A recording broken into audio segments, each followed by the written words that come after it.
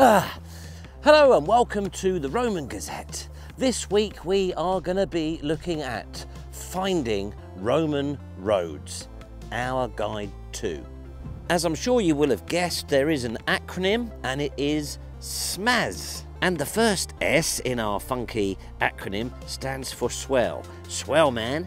So here we have a Roman road coming up to a modern day T junction. Now, the Roman road didn't stop here, it carried straight on, but it's all been robbed away and lost. All this has gone here, but if you look in, not here, if you look here in the hedge line, you can see the swell. The hedge line has preserved the swell, the agger of the Roman road in there. Swell. M is for milestone, such as this one here at Forton Hall, which is close to the line of the Roman road from Walton le Dale to Luncaster, Lancaster. This one at Forton Hall is about 200 metres away from the actual line of the Roman road. But when you get one of these, it's a pretty good clue there's a Roman road lurking around.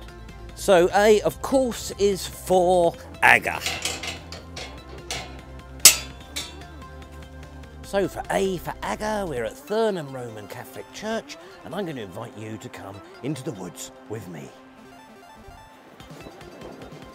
So we're sticking with this Walton le Dale to Luncaster Road, and the best preserved section of Agger is in these woods. And when you've found an Agger, or you think you have, one of the best ways to identify it is if you can find a spot like this where it has been cut through by later tracks or work and then you can get the real sense of the proportions of it. Now it can be difficult to identify these aggers on film so I've put the WC21 UK Productions Limited tripod into this gap where someone's cut through, some idiot has cut through the Roman agger in the centuries since and hopefully that gives some sense of the scale of it.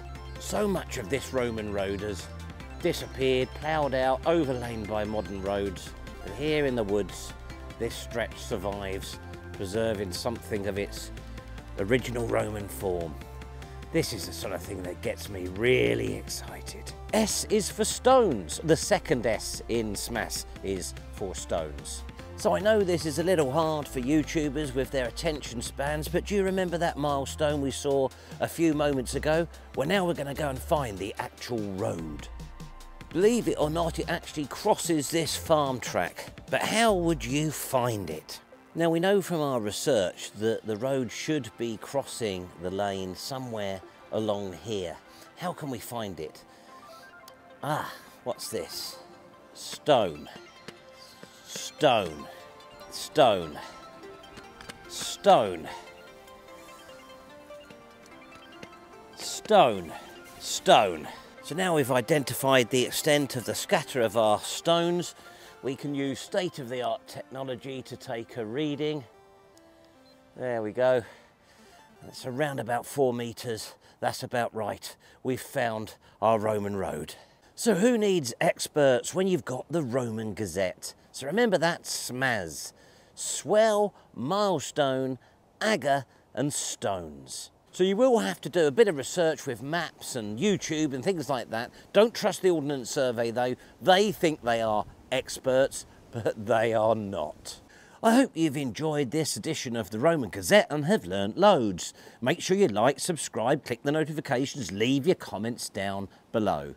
Now, like a lot of successful YouTubers, we've now contracted out our editing. So the endings for these vlogs moving forward are going to be really slick and smooth like the rest of the production. Until next time, stay safe. Thanks for watching.